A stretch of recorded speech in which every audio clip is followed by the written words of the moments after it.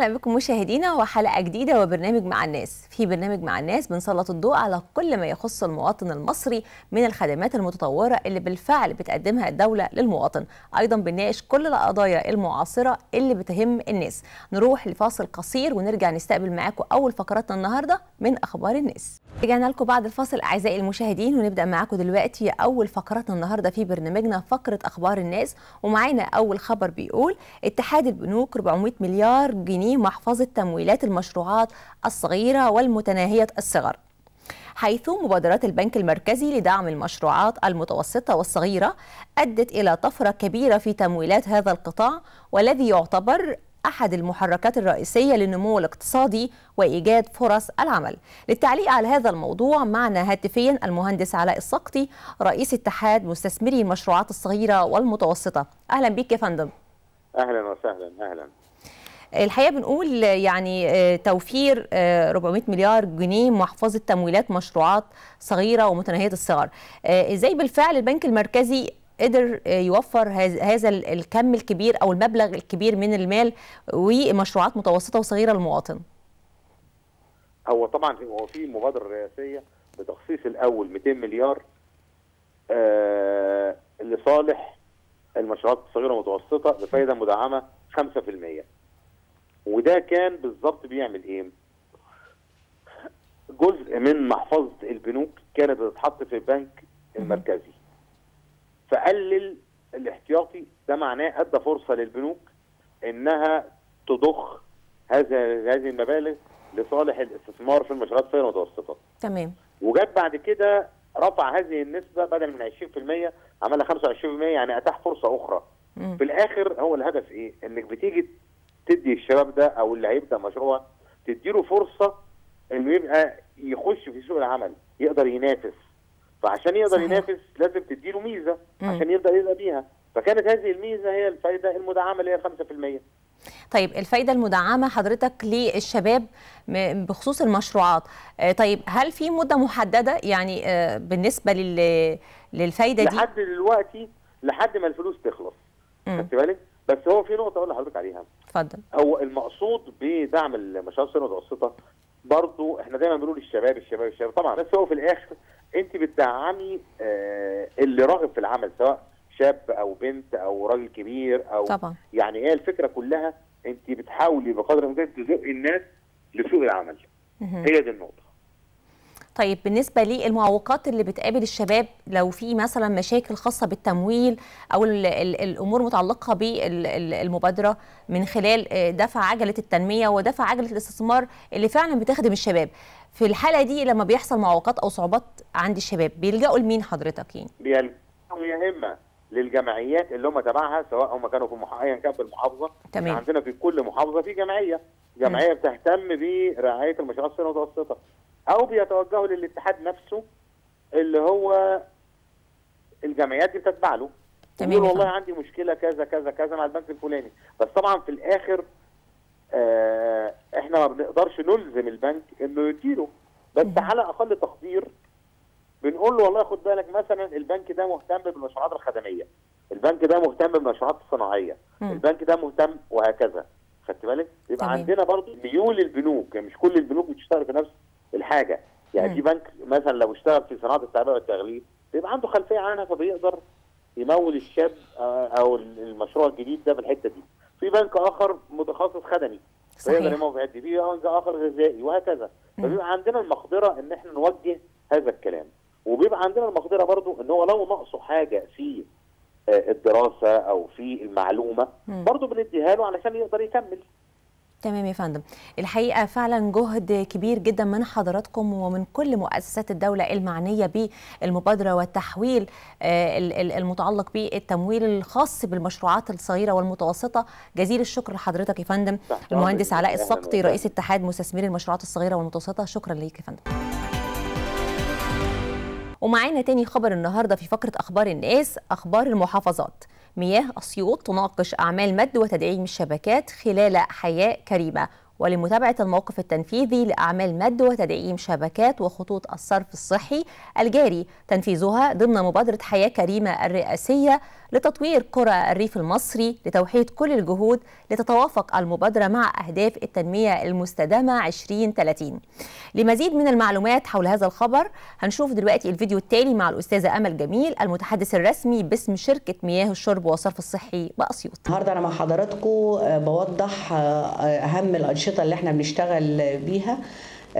يمكن إحنا شركة أسيوط خدت نصيب الأسد والحمد لله في المبادرة الرئاسية لفخامة الرئيس عبد الفتاح السيسي.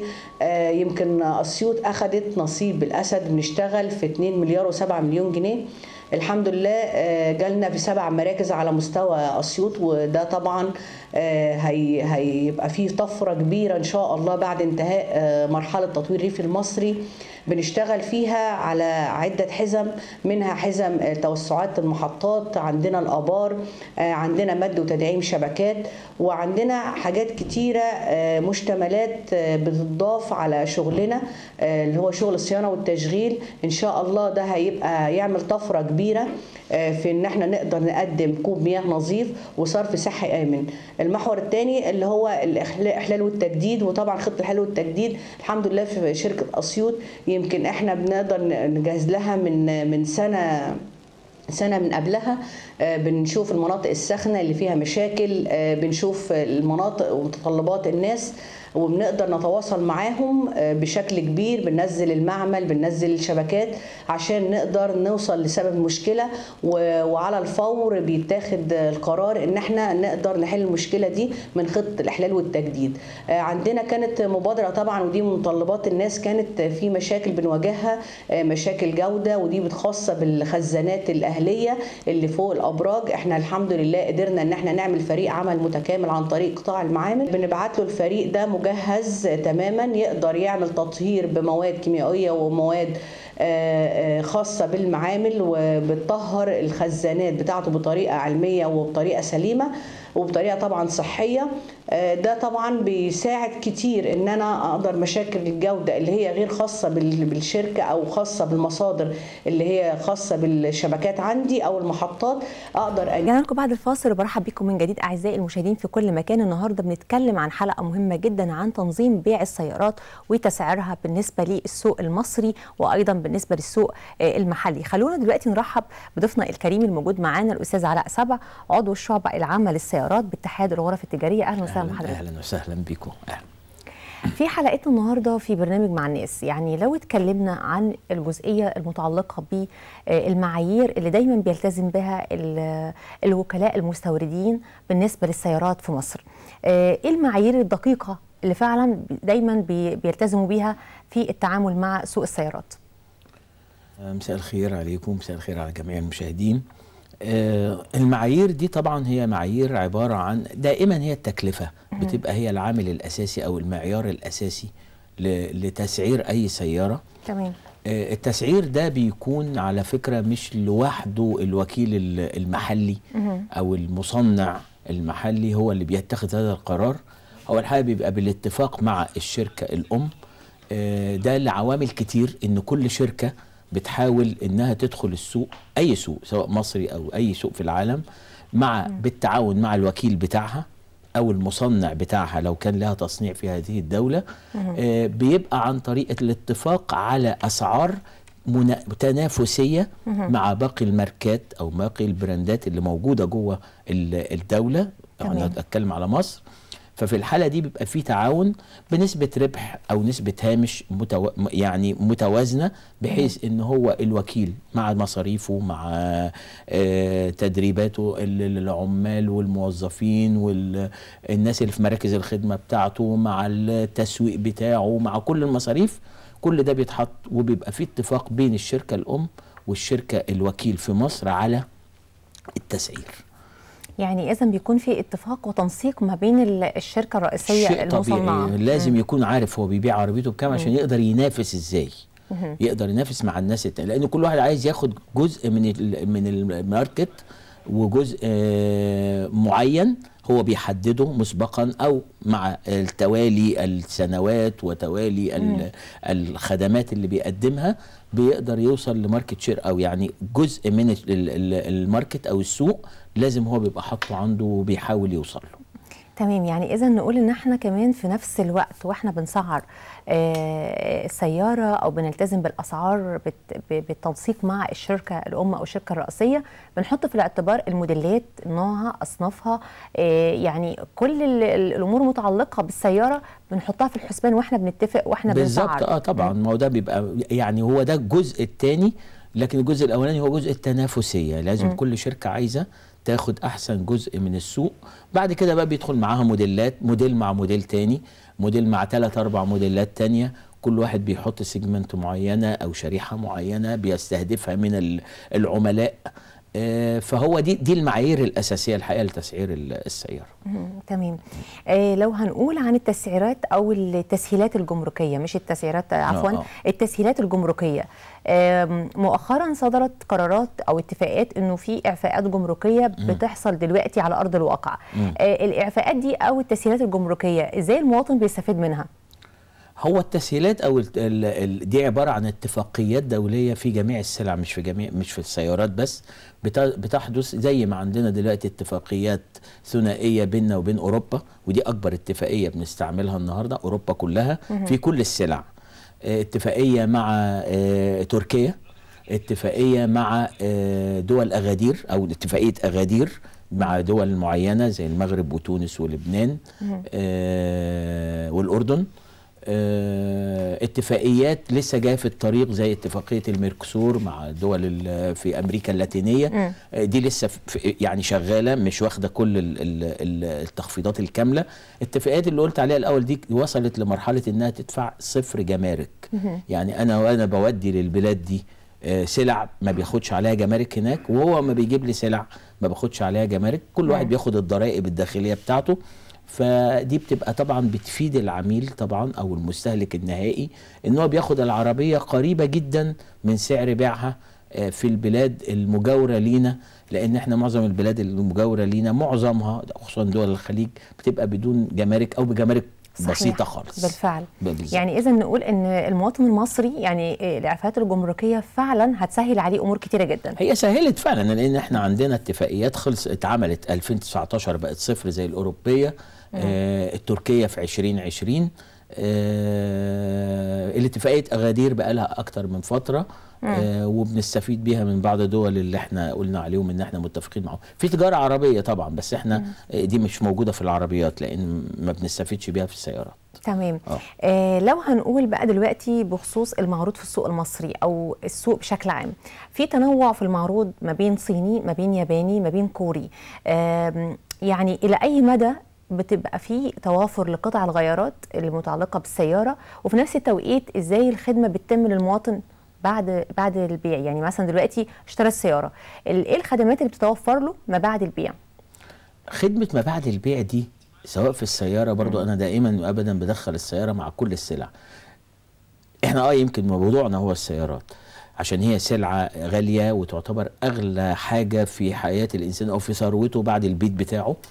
أغلى آه، حاجة؟ أغلى السيارة. حاجة أغلى حاجة السيارة بعد البيت في بعد ال- السلع ده فعلا، آه بعد حقيقة. البيت آه يعني فإحنا دايما هو رقمها بالك كبير أو رقم كبير.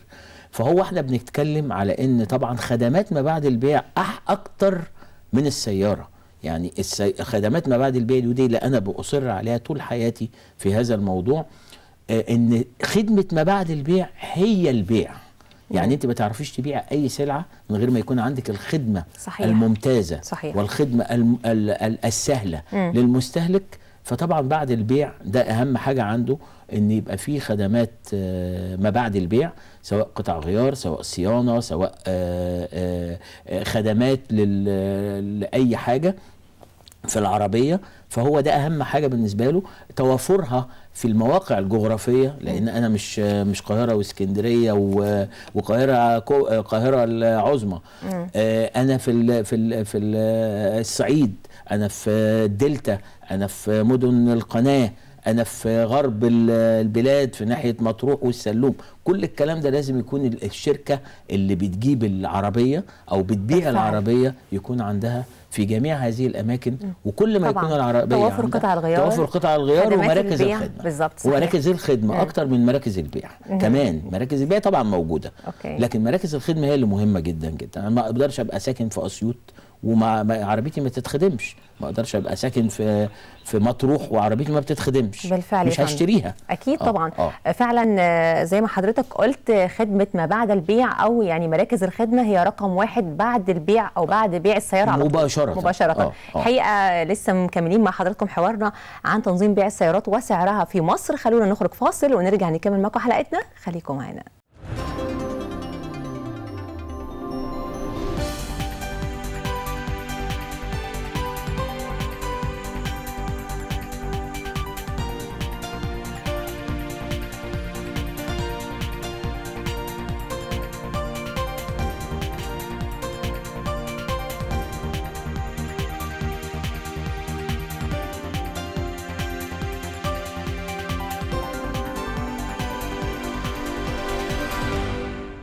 ورجعنا لكم بعد الفاصل أعزائي المشاهدين في كل مكان. ودلوقتي لسه بنكمل معاكم حلقتنا النهارده وبنتكلم عن تنظيم بيع السيارات وتسعيرها. ولسه مشرفنا الأستاذ علاء السبع طبعا عضو الشعبه العامة للسيارات باتحاد الغرف التجارية. كنا بنتكلم قبل الفاصل يا فندم عن آه، يعني مراكز خدمة ما بعد بيع السيارة. طبعا. آه، لو هنقول المواطن المصري أو أي مواطن آه، اشترى سيارة وحصل فيها عطل أو مشكلة ما. مم.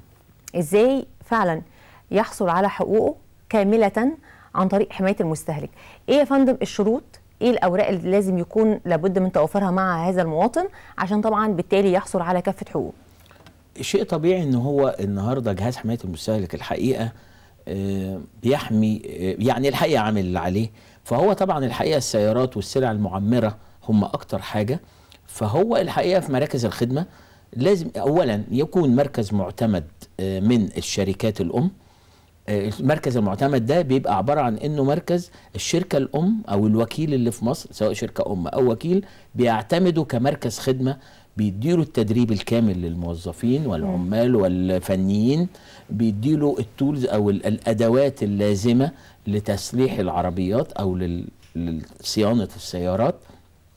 بيديله الابروفال أو ال- الموافقة من بره على إنه هو يبقى مركز معتمد. بيجي وراهم طبعا مراكز نظيفة وكويسة ولكنها مش معتمدة.